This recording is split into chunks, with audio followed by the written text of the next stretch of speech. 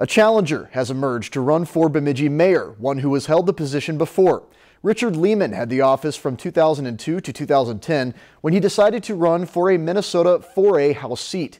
In running again, he will go against Rita Albrecht, who has been elected twice in 2012 and again two years later.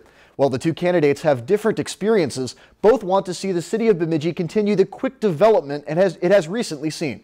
I think the uh, tax base is speaking for itself. That you know our tax base continues to expand for because the uh, value um, of our community has expanded. I think we need to continue to grow stronger in that and uh, market our community much greater than um, we I, I, think I've seen happening over the last number of years. The Greater Bemidji partnership we have is working on some workforce training, and I think that's always important to make sure we have the talent here to attract businesses.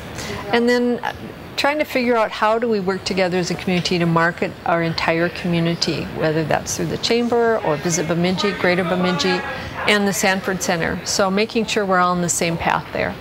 Voters will return to the polls when the mayoral race ends in November. If you've enjoyed this segment of Lakeland News, please consider making a tax-deductible contribution to Lakeland Public Television.